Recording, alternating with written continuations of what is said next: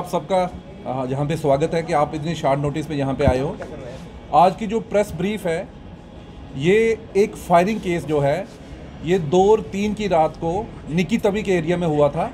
उस केस को नवाबाबाद पुलिस ने सॉल्व किया है और दो क्यूज को हमने इसमें अरेस्ट किया है। उस सिलसिले में ये रखी गई है।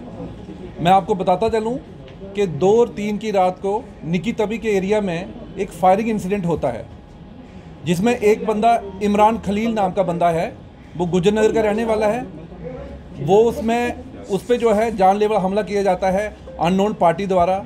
उसको जो है वो फायर लगता है। उसके बाद वो बंदा जीएमसी में एडमिट होता है। हमारे पुलिस स्टेशन नवाबाबाद में उसमें एफआईआर रजिस्टर होता है। उसके बाद उसमें जो है तफ्तीश जो है स्टार्ट होती है।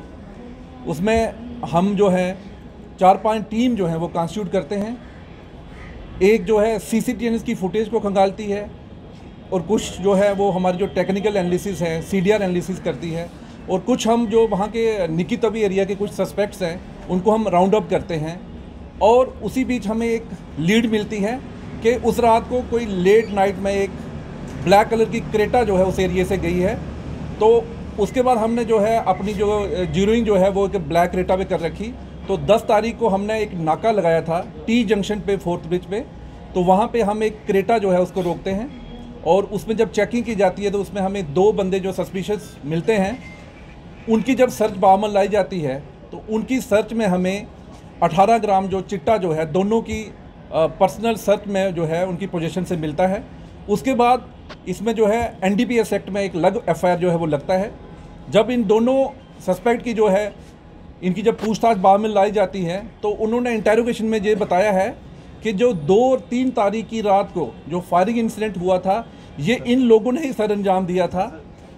तो उसके बाद हमने इनसे पूछा कि आपने कौन सा वेपन जो इसमें इस्तेमाल हुआ था? इनकी जो है डिस्क्लोजर पे हमने जो आप आप देख रहे हैं ये पिस्टल और इसके साथ जो 16 राउंड्स जो हैं, वो हमने रिकवर किए हैं इनके घर से, इनके डिस्क्लोजर पे। तो मैं आपको थोड़ा सा बैकग्राउंड बताता चलूँ कि ये जो दो बंदे हैं इसमें एक का नाम मोहम्मद हुसैन खटाना है और एक का नाम मोहम्मद रमज़ान है। ये दोनों लोग जो इसमें अक्यूज़ हैं, जो इस फायरिंग केस में भी इन्वॉल्व थे और जो एनडीपीएस के साथ भी पकड़े गए हैं, ये दोनों जो हैं रघुड़ा के रहने वाले हैं और इन दोनों के डिस्क्लोजर पे हमने ये रिकवरी की है। और इन अगर हम इसके बैकग्राउंड में जाएँ तो ये इन्होंने बताया है कि जिस दिन ये फायरिंग इंसिडेंट हुआ, उससे एक दिन पहले जो निक्की तवी में किसी किसे चिट्टा लेने गए थे। एक जो नटोरियस ड्रग स्मगलर वहाँ का है तो उससे जब ये चिट्टा लेने गए तो कुछ इनके पैसों पे कहा सुनी हुई, बाद में इनके बीच में लड़ाई जैसी हुई, और जो निकी तभी का ड्रग स्मगलर है, उन्होंने जो मोहम्मद हुसैन खटाना है, इसको जो है वो थप्पड़ मारा।